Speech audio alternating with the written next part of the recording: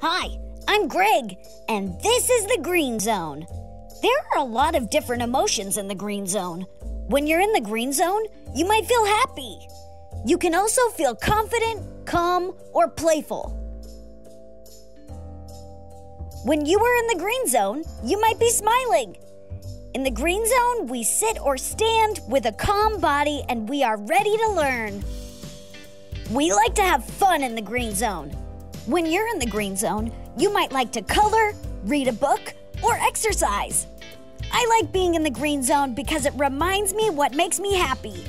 Remember, when we're in the Green Zone, we're happy, calm, proud, or playful. If you want to learn more about the Green Zone, you can ask an adult or your teacher.